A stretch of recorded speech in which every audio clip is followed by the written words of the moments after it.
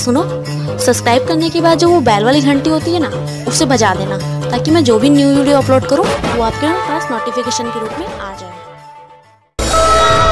अकाल मृत्यु वो मरे, जो काम करे चंडाल का। काल उसका क्या बिगाड़े, जो भक्त हो महाकाल का। आप सभी का हार्दिक स्वागत करता है।